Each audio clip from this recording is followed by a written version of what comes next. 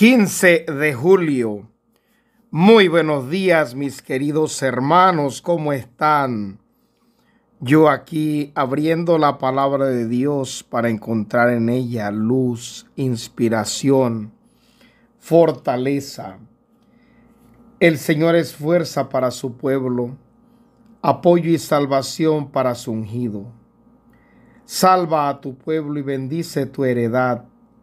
Sé su pastor y llévalo siempre.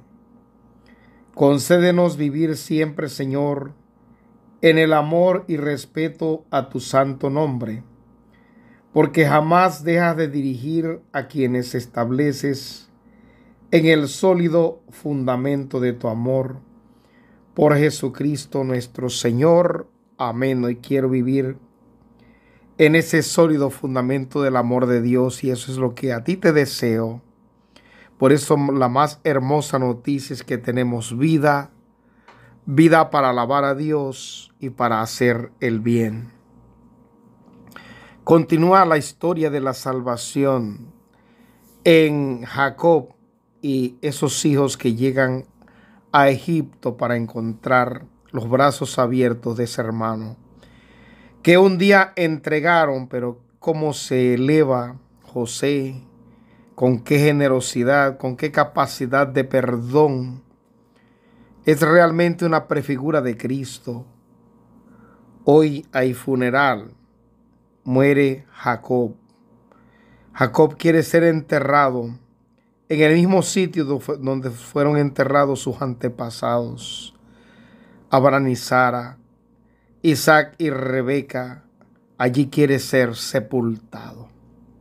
Como quien dice, Allí no podemos jamás olvidar de la promesa de la que vinimos, de esa descendencia que Dios prometió, porque Dios lo que promete lo cumple y eso se merece un sorbito de café. Esa historia se fue tejiendo en medio de las vicisitudes y envidias y situaciones humanas, pero ahí está la historia de la salvación. Aquel que un día vendieron a Egipto fue necesario para que luego él pudiera salvarlos, pudiera cuidarlos y allí pudieran crecer. Y ya sabemos que fueron esclavizados y que Dios no les faltó. Yo voy a morir, luego dice José a sus hermanos, Dios cuidará de ustedes. Así es, Dios cuida de los nuestros y les llevará de esta tierra la tierra que juró dar Abraham, Isaac y Jacob. Los hizo retornar. Nosotros siempre, siempre hemos de retornar. Yo diría que nuestra existencia en esta tierra es un caminar en ese retorno siempre, en esa conversión permanente hacia Dios, en esa vuelta a la patria, la patria definitiva que es el cielo. Y Él les pide que por favor se lleven sus huesitos también de allí para que sean sepultados junto con sus padres. Gracias José por tan enorme ejemplo. Padre bueno, en ti confío, en ti confío, en ti confío. Tú me quieres siguiendo con amor. Oh Padre, tú que cuidas a las flores de los campos y vistes a los lirios, me quieres mucho más a mí. Padre bueno, en ti confío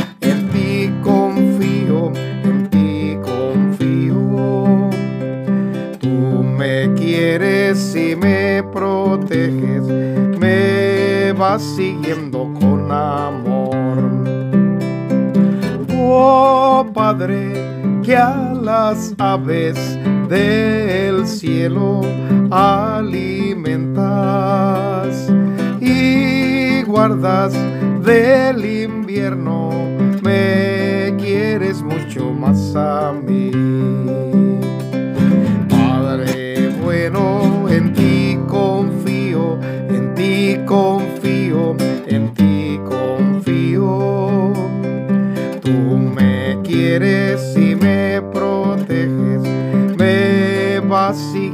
Con amor.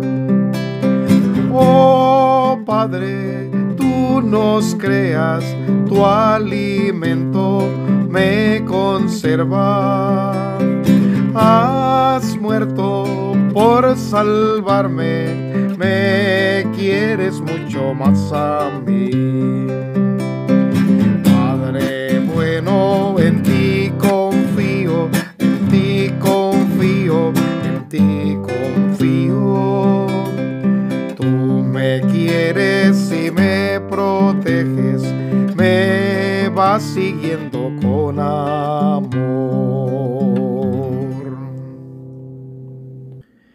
Bello, bello este canto inspirado en el Evangelio de hoy de San Mateo 10 del 24 al 33.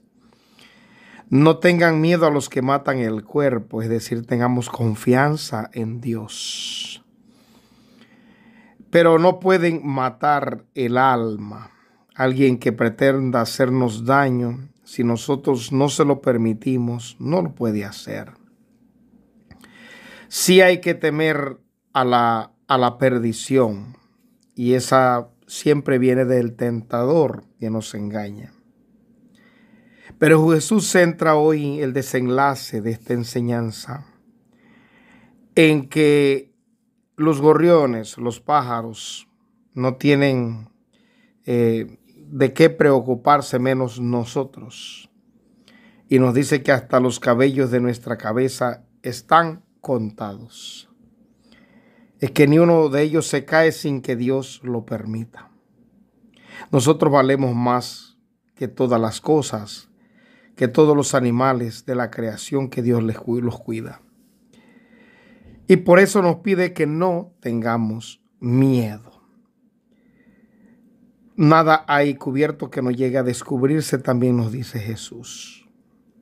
Y nos advierte que el discípulo no puede pretender evitar lo que le pasó a su maestro. Esto no es tan fácil de digerirlo. Él lo dice, un discípulo no es más que su maestro. Es decir, si a Jesús lo rechazaron, si algunos se rieron de él, en una ocasión un pueblo, porque se sintió afectado económicamente cuando los demonios fueron a dar a los cerdos, le dijeron que se fuera. Si a eso le pasó a Jesús, ¿qué no, va, qué no nos puede ocurrir a nosotros que somos pecadores?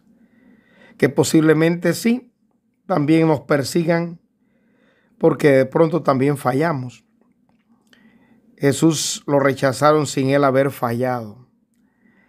Pero lo más importante de que Dios se pone delante de nosotros, si nosotros nos ponemos de parte de Él y ponernos de parte de Dios, es estar del lado de los sufridos de los humildes, de los que están tristes, de los que lloran. Somos nosotros los instrumentos para el consuelo de aquellos que se sienten muy tristes. Porque tengo miedo, si nada es imposible para ti, porque tengo miedo, si nada es imposible para ti. Nada es imposible para ti, nada es imposible para ti, porque tengo duda. Si nada es imposible para ti, porque tengo duda. Si nada es imposible para ti, nada es imposible para ti, nada es imposible para ti. Enséñame a querer nada es imposible para ti, enséñame a querer, porque nada es imposible para ti. Nada es imposible para ti, nada es imposible para ti, enséñame a perdonar, porque nada es imposible para ti, enséñame a perdonar, porque nada es imposible para ti. Nada es imposible para ti nada es imposible para ti. Tú te hiciste hombre, nada es imposible para ti. Tú te hiciste hombre, porque nada es imposible para ti. Nada es imposible para ti, nada es imposible para ti. Tú venciste a la muerte, porque nada es imposible para ti. Tú venciste a la muerte, porque nada es imposible para ti. Nada es imposible para ti nada es imposible para ti. Tú estás entre nosotros, porque nada es imposible para ti. Tú estás entre nosotros, porque nada es imposible para ti. Nada es imposible para ti. Nada es imposible para ti, porque tengo miedo. Si nada es imposible para ti, porque tengo miedo si nada es imposible para ti, nada es imposible para ti, nada es imposible para ti.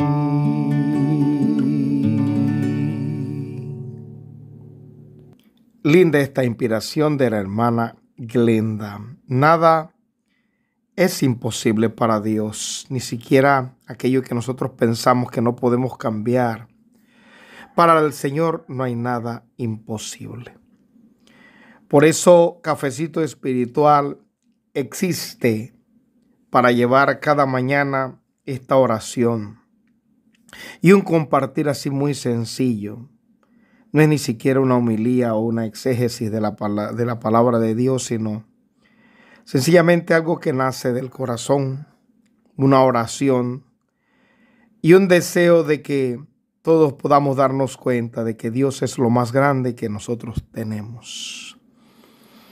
Es muy triste ver a la, cómo la gente sufre, cómo la gente migra. Ayer me contaron que cada día salen 12 buses desde el Darién hacia acá, hacia a los lados, a venir hacia Chiriquí, Costa Rica, para intentar llegar a la frontera eh, entre México y Estados Unidos. Miren ustedes. Y uno dice, ¿qué está ocurriendo en nuestros pueblos? ¿Qué es lo que pasa? ¿Por qué nuestra gente no puede vivir en los lugares donde nacieron y crecieron y con tantos recursos naturales y posibilidades? Bueno, yo le pido a Dios hoy por los migrantes y por todos los niños que sufren y toda la gente que llora y que tiene dificultades y enfermedades, para que puedan encontrar el alivio, la salud. Dios bendícenos en el nombre del Padre, del Hijo y del Espíritu Santo. Amén. Y te envío un fuerte abrazo en la cercanía del amor de Dios.